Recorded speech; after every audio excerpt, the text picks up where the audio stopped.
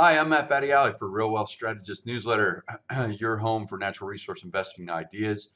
And today I want to talk to you about why it's such a great time to own gold miners. Now, I know that not a lot of you own gold miners, probably, um, but to, to give you an example of why this is the right time, we're going to pretend that you and I own a gold miner together. Okay, so this is a great gold mining company.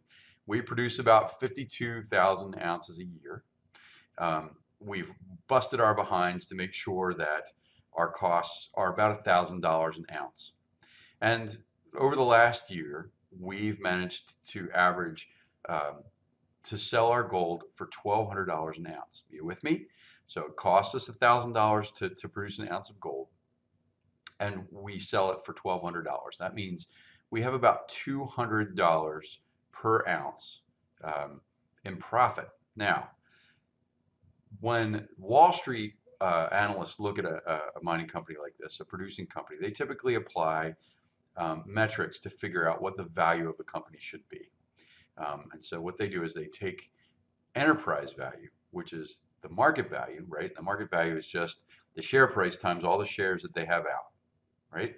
So that's, and then they add debt. So if you have any debt, if we borrowed money to build our mine, you have to add that in there.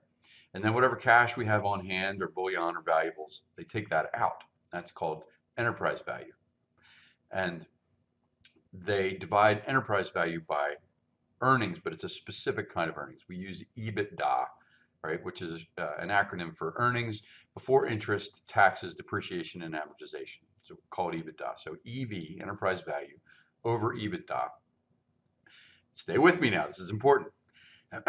so the gold mining industry right now, um, the average is about 9.5 times um, enterprise value to, to, earnings, right? Which means you can shorthand that by thinking that that's how many years worth of earnings um, it would take to buy the company, debt and all, right? So nine and a half times, nine and a half years. Our little company, when we produce 52,000 ounces a year, our little company would have an enterprise value of $100, $100 million. Okay, $100 million. So we're doing all right. Our company is worth $100 million. We're producing 52,000 ounces a year. Now, here's the trick. Without doing anything at all, without increasing our mine, without messing around whatsoever, if the gold price goes up by $100 an ounce, right? So from $1,200 to $1,300. What does that do to our share price? What does that do to our to the value of our company? What it does is astonishing because we know that the cost for our uh, per ounce is $1,000 and those $200 extra are profit. If the price goes to $1,300, now we have $300 in profit. That represents to us a 50% increase in our profit. That's outstanding. All that happened was the gold price went up by $100. Most most investors would see the gold price go from $1,200 to $1,300 and not really care. But if you're a gold investor, a gold mining investor like you and I, holy cow, that's huge.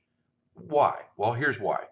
Remember, I said that, that Wall Street uses uh, that simple EV to EBITDA uh, metric.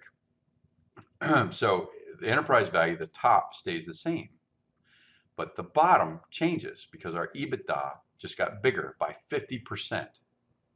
So if you keep the same multiple, nine and a half times, which is a pretty reasonable uh, uh, number to use, right? Nine and a half times enterprise value to EBITDA is really conservative in in the mining industry. So if we keep that the same, that means that the market value of our company has to go up. By how much, you ask? Well, our earnings went up by 50%. If everything else stays the same, our market value, our enterprise value, will go up by 50%. That's why when the, the gold price goes up just a little bit, gold miners will explode in value and their stock prices will soar higher because just a little bit, once they have all their costs established and they're not doing anything crazy, um, these mining companies become extremely profitable with just small moves in the gold price.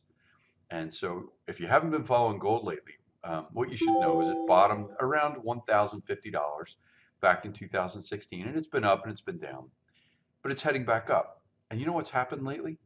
The gold price went from about $1,200 an ounce about $1,300 an ounce. The market really hasn't caught on yet because gold stocks aren't ripping the way they should, but they will. And so I'm telling you, this is a great time for you to go out and get exposure to gold miners. You can do it the easy way. You can go out and uh, buy a gold stock index. Uh, there are several out there. Uh, the GDX, the GDXJ are very simple ones to go out and buy. But if you really want to make a lot of money, and I mean we're going to make a lot of money over the next year, you should check out the Real Wealth Strategist newsletter because we spend a lot of time digging through filings. We know a lot about these miners before we buy them. And so while the average miner may go up 50%, we're looking at companies.